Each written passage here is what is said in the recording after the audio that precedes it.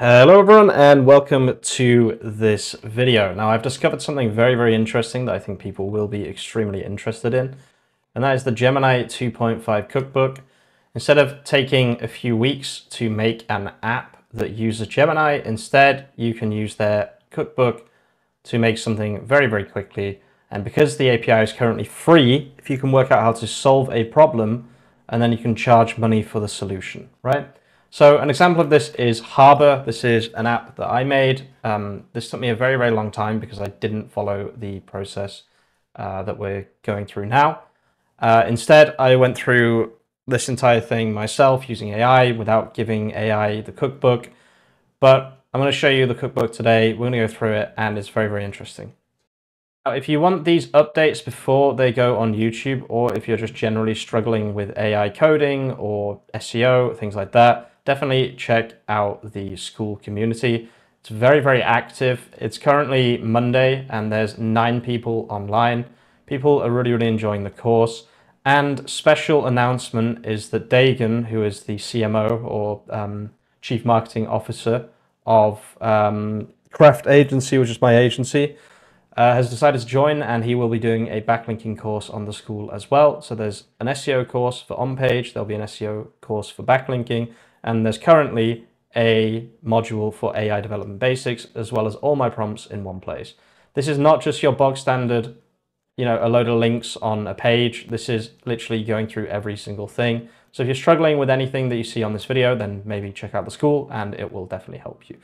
With that being said, let's get into the point of this video, which is this cookbook right here. If you don't know what basically what cookbook is, is either quick starts or examples, right? I prefer to use examples personally but you can also use um, uh, quick starts, right? So we can see here, for example, we have agents function calling barista bot, don't even know what that means, analyze a video, right? So if we open this up, you'll see that this actually contains code to analyze a video, right? So you can see here, this downloads a video, uploads a video, blah, blah, blah. That's the video. And then um, who you are a zo zoologist whose job it is to name animals in videos. Sure, why the hell not?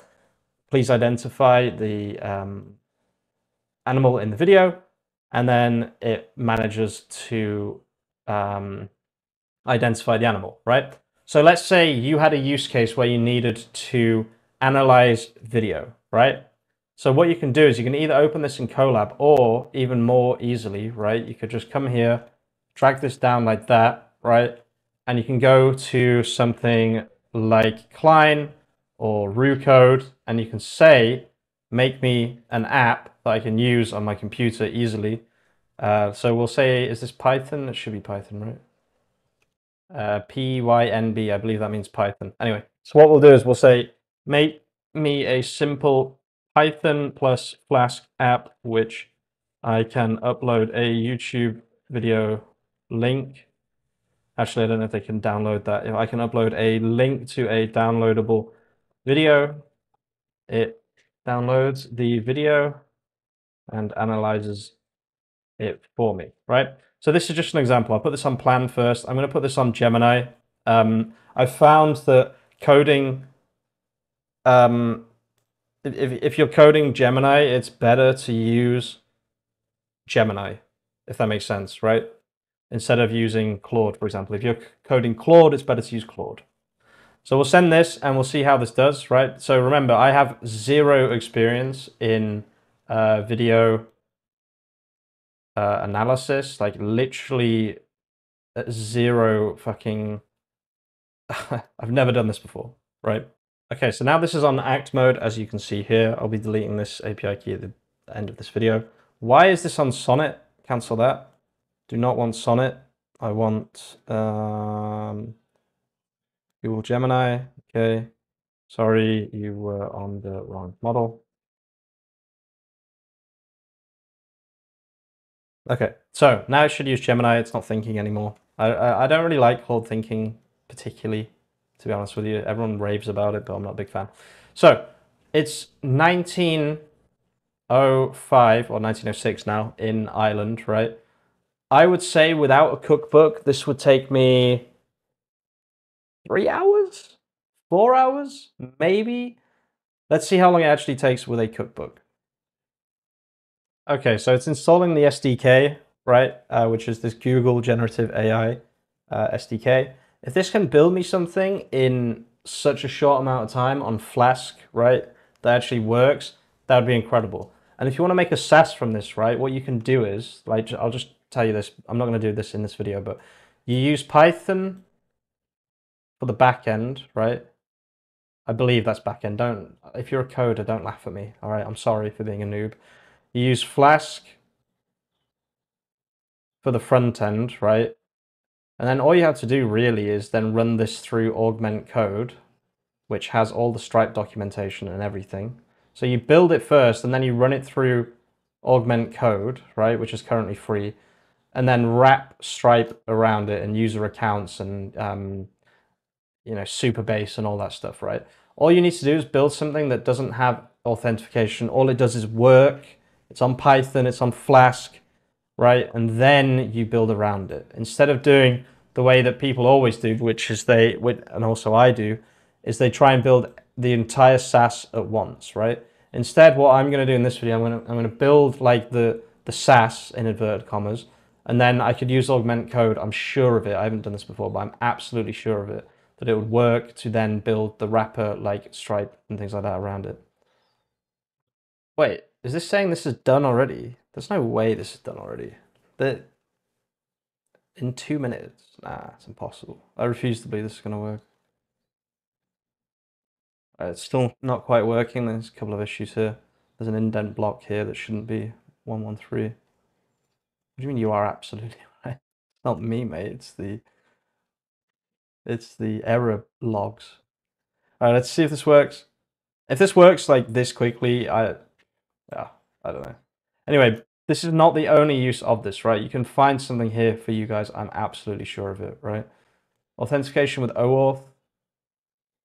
See, this is just really nice because I didn't know that Google Cloud had a CLI thing, right? So looking through these things is super, super useful, whether you plan on using this specific uh, use case or whether you plan on doing something else, right?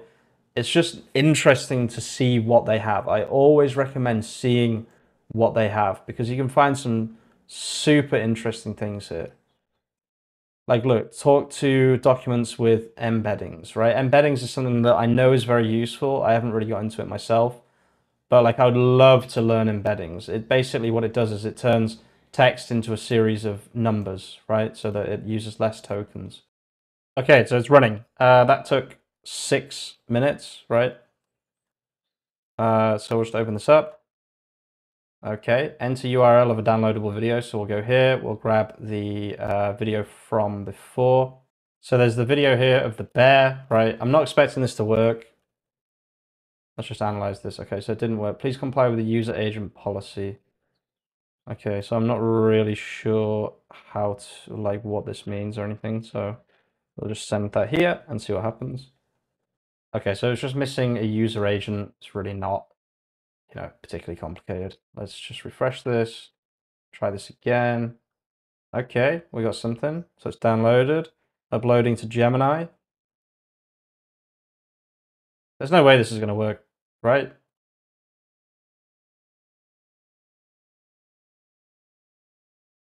Wait, this looks like it might work. Well, it makes it makes sense, right? Because I'm using a book. That's the whole point. But sending video to Gemini for analysis. Deleting Gemini file, local file deleted. The video shows American black bears. Holy shit, that is insane, right? So now you can kind of look through here and you can think, okay, so what else what else is useful? Browser as a tool, what does that mean? No idea. Sounds useful though, right? LLMs are powerful tools, but are not uh, intrinsically connected to live data sources, features like Google search, grounding, blah, blah, blah. This notebook will guide you through three examples of using a browser as a tool with a Gemini API using both the live multimodal API and traditional turn-based conversations. So what, you want to make your own stagehand? There you go, mate. Done. Uh, and then I saw one more that looks very interesting. Search Wikipedia using React. The notebook is a minimal implementation of React synergizing reasoning and acting language models. With the Gemini 2.0 Flash, you'll use a React prompting to configure a model to search Wikipedia to find the answer to users' questions. I mean, yeah, you could repurpose this into something that gives your LLMs knowledge, right, from Wikipedia. A lot of people talk shit about Wikipedia. I personally think Wikipedia is totally fine, um, but I understand why people don't like it.